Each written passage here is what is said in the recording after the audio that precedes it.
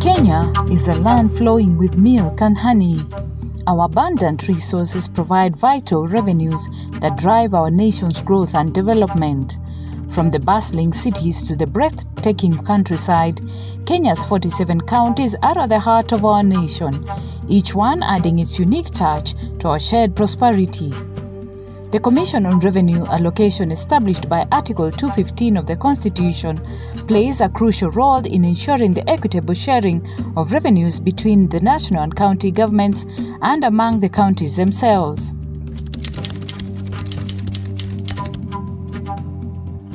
The principal function of the Commission on Revenue Allocation is to recommend the basis for equitable sharing of revenue raised by the national government. The sharing is done vertically, that is between the national and county governments, and also horizontally among the 47 county governments. Secondly, other functions include to recommend on matters concerning the financing and financial management of both the national and county governments, and where appropriate, define and enhance revenue sources of the national and county governments. The Commission also has constitutional interpretation and application, investigation, conciliation, mediation, and negotiation functions.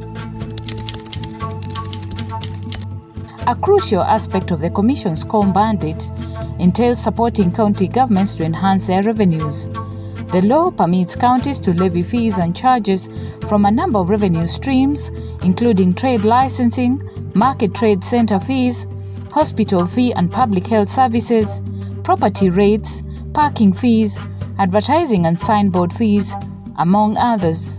Although Kenya's 47 counties have the potential to collectively raise at least 216 billion shillings annually, they only managed to raise about 45 billion in the financial year 2022 to 2023. So once we launch uh, this model policy, the next step will be CRA to disseminate the policy to the 47 counties. Thereafter, the counties will be expected to domesticate the policy and adopt it to their requirements. The policy will then guide the counties to develop laws for the relevant revenue streams because each stream must have a primary law for the county to be able to collect revenue from that particular stream. So today marks a very important day in the calendar of CRA as we launch these models and pricing policy. It is indeed a very proud moment for the Commission on Revenue Allocation and Kenya at large as we launch the first ever model tariffs and pricing policy in East, West, and Central Africa. From 2017, where the counties were charging fees and levies to provide services, for example, parking fees, market access fees, building approval fees. And a lot of times there was no information as to what the county governments would provide in terms of services from the county governments.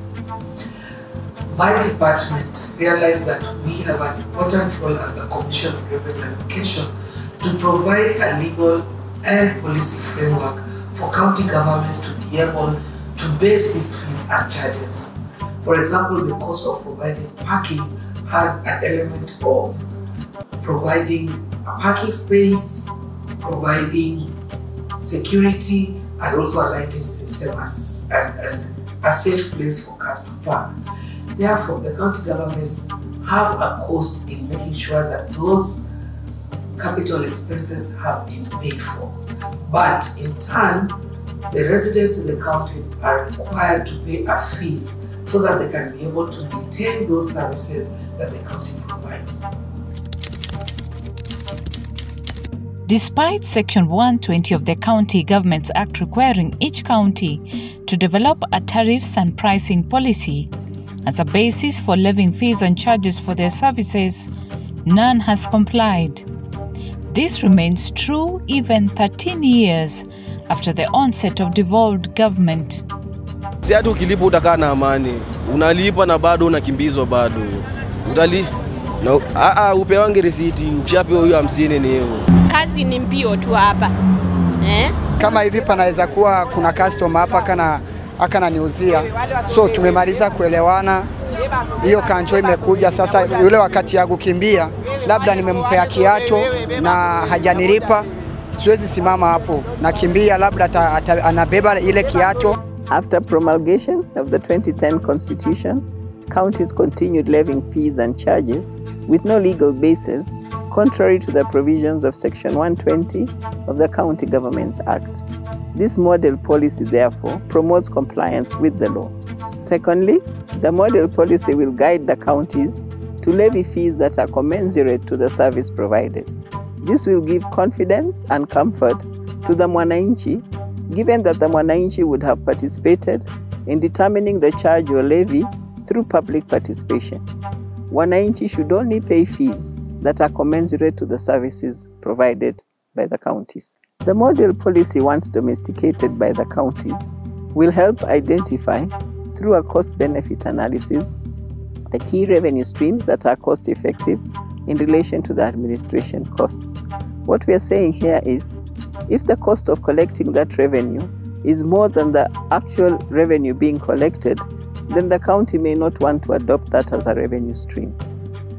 As we prepare to roll out the model policy for county governments to adopt, we anticipate a positive change.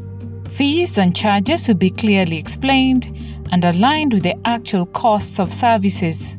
This move will build greater trust between residents and county officials. It will also promote transparency and accountability and ultimately better service delivery. Let me take this opportunity to sincerely thank His Excellency the President, Dr. William Ruto. It was actually him who initiated this process when he was the Deputy President and the Chair of IBEC, that is the Intergovernmental Budget and Economic Council.